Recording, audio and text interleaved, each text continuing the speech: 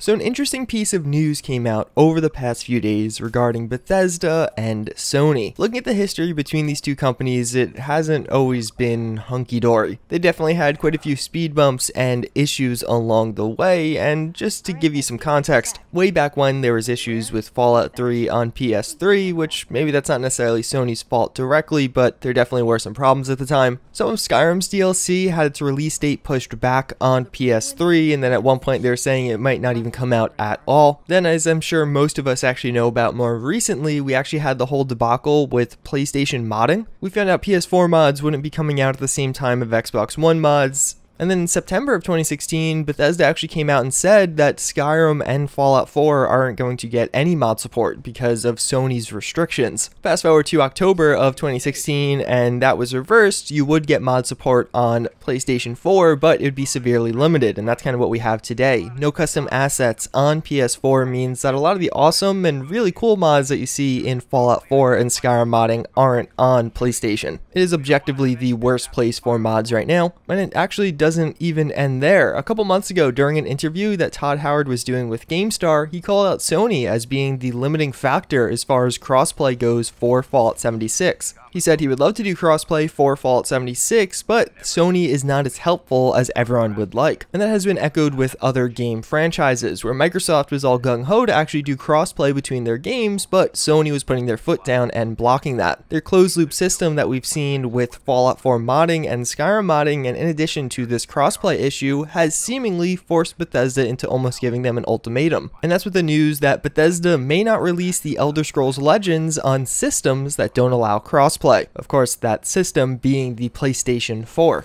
Even though it's the main thing I'm focusing on, I feel like it's really important to get all of that context, to get the long history of kind of conflict or mini conflicts between Sony and Bethesda. Because if there's one company to actually put their foot down around this, I think it would be Bethesda, based off the experience they've had with Sony thus far. The Elder Scrolls Legends is a current card game that uses some of the things from the Elder Scrolls. It's like many of the other card games out right now. It's currently live on PC, Mac, and mobile platforms, but the console release that was planned for Xbox, PlayStation, and the Switch is said to be coming later this year. Well, during an interview at QuakeCon actually asking about the crossplayness of this game, Pete Hines kind of said, it is our intention in order for the game to come out, it has to have those things, those things being crossplay on any system. We cannot have a game that works one way across everywhere else except for this one thing. The way the game works right now on Apple, Google, Steam, and Bethesda.net, it doesn't matter where you buy your stuff. If you play it on another platform, your stuff is there. It doesn't matter what platform you play on. You play against everyone else who is playing at that moment. There's no, oh, it's easier to control, or it has better frame rate on this system. It's a strategy card game. It doesn't matter matter. The interviewer then looks deeper, saying, well, you know, Sony's probably not going to support crossplay, so what does that mean for this game? Does it mean no PlayStation release? And Hines' exact response was, but those terms are essentially non-negotiable. We can't be talking about one version of Legends where you take your progress with you, and another version where you stay within that ecosystem, or it's walled off from everything else. That is counter to what the game has been about. So I mean, we'll see what actually happens here. They never really officially said we're not bringing it to PlayStation if they don't do this, but they pretty much got as close to saying it without actually saying it. Now, as I brought up before, Fallout 4 mods and Skyrim mods were cancelled for PS4 and then, of course, ended up coming out, almost like the cancellation or going public with that cancellation was leverage. This could be something similar, even though it was a response to a question in an interview, the news of this and the backlash from the community could be a bigger deal. At the same time, though, the Elder Scrolls Legends isn't nearly as big as Fallout or the Elder Scrolls, so it doesn't have that staying power and so Sony may just not care if it doesn't come to their console, or at least not care nearly as much as they did with PlayStation modding.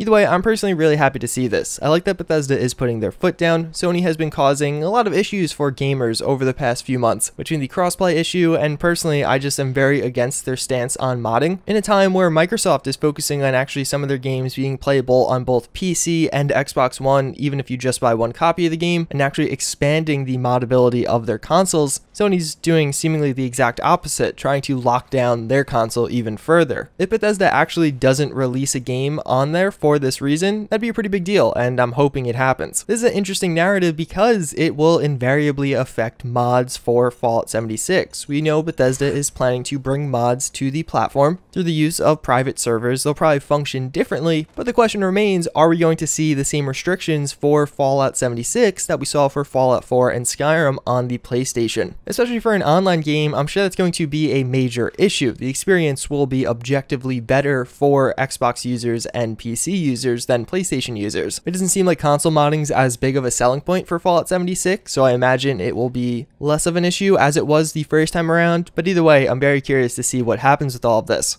As always, again, I thank you all for watching. I do hope you enjoyed this video, and I hope to see you all next time. Later.